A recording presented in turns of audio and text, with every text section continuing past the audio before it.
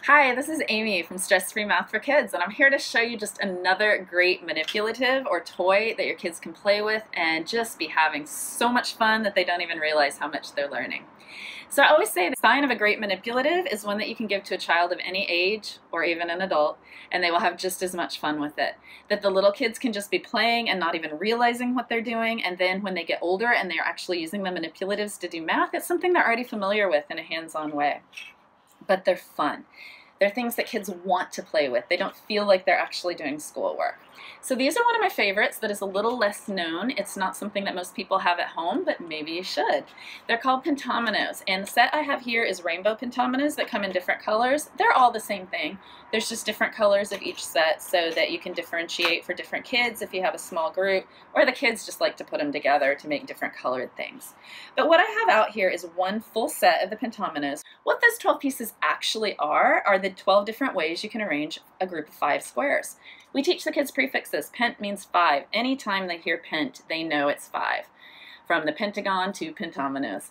And so these are all the different ways you can arrange five squares. With our older kids, and this will be on one of my lesson plans you can get from my website, we'll actually give them square tiles and ask them all the different ways they can arrange them so the edges are lined up. With little kids, you don't even have to do that. Just give them the tiles. Let them play with them. Let them figure out what they do.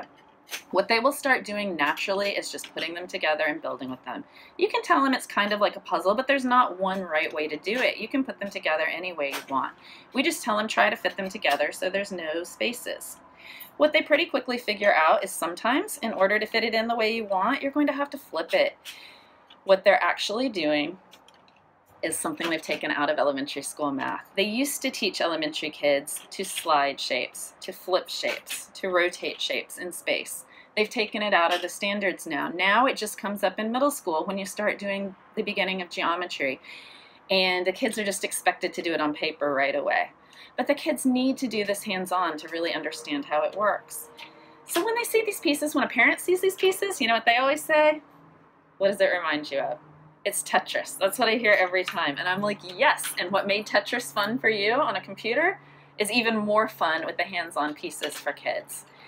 The older kids like to make pictures. They've made Minecraft characters, they've made dinosaurs, they've made all kinds of crazy creative stuff with these pieces. You wouldn't believe what they make. And then they a lot of times even like to trace around the shapes and give you a puzzle and you have to figure out how they did it. There are just so many things you can do. But once again, it's a great toy because you can just give it to your child and they will play with it for a long time and not even know how much they're learning. Or if you want to use them for more guided instruction, there are so many ways you can do that too. And I will have all those plans available on my website, Stress Free Math for Kids. You can download very specific plans with what to say, what to do to guide your kids in playing with this to get to their geometry knowledge. But if you just want a toy for your kids to play with at home and not even know how much learning they're doing while they're having fun, this is a great one to get, Rainbow Pentominoes.